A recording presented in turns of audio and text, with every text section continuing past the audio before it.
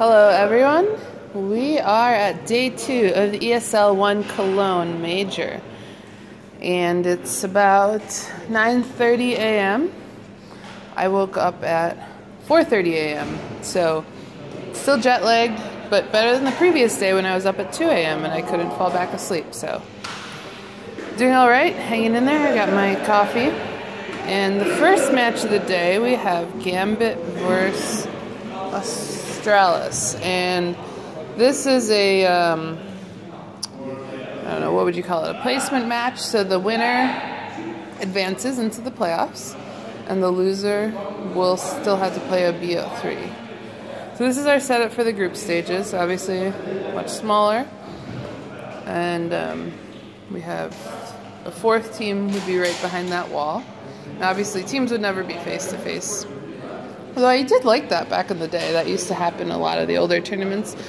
And it's kind of fun um, to see how the teams yelled and, and trash talk and things like that just to, to get each other pumped up, get in their opponent's head. So that was always interesting, but it doesn't happen as much anymore, and it makes sense. and Jacob brought me a latte. Thank you, Jacob. Oh, now I have two coffees. Okay. Perfect. We're good. All right. Sorry, guys. There's our amazing talent manager, Jacob. Wants to get us all lattes. So let's just take a quick tour. I think we did a tour like this the other day, but that's okay. You guys seem to like the content. Try not to trip while I look at my phone.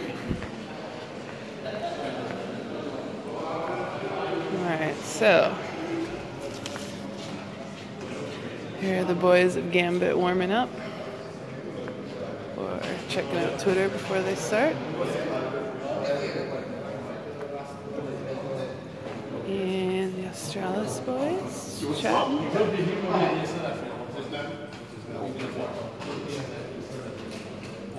where the admins sit. And over here, it's not, it's obviously empty right now, but this is where players hang out and watch the matches. Um, any girlfriends that are here, managers. Also, um, I know Fallen had his family here, so they all hung out there yesterday to watch. Um, otherwise, yeah, sorry, this is this is not too exciting video, but we got a lot of setup to do. We got rehearsal. So just thought I'd just get a quick video in, see what it looks like before matches start.